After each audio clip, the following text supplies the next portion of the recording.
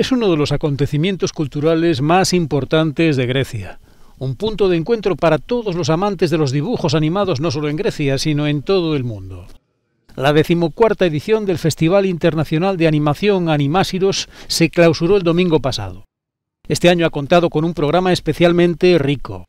180 películas, 7 secciones a concurso, el panorama internacional y dos grandes homenajes temáticos. Lo que me llevo, lo que más me ha impresionado, es el deseo de la gente de que el reinicio tras la pandemia se produzca en todos los ámbitos de la cultura, incluida la animación. Por supuesto, lo que conservaré para siempre es el homenaje a la libertad, que se asocia a la celebración del 200 aniversario de la proclamación de la Revolución griega.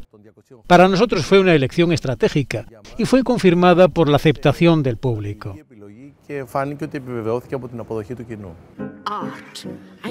La británica Joanna Quinn ganó el premio de la sección de competición internacional por su película Affairs on the Art.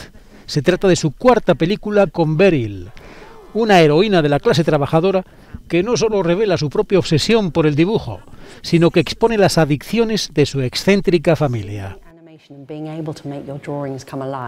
Ver la animación, poder hacer que tus dibujos cobren vida y darles carácter y movimiento me obsesionó. Probablemente es tener el control y el poder porque puedes crear vida. Y la gente reacciona a ello. Uh, Probablemente es una combinación de cine, dibujo, arte y ser Dios.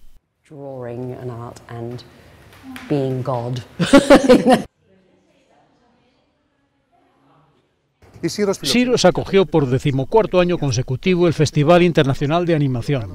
El evento es un punto de referencia no solo para la comunidad de animación nacional, sino también para la internacional. Este año, este increíble festival ha vuelto a demostrar su extroversión, su vigor y su resistencia.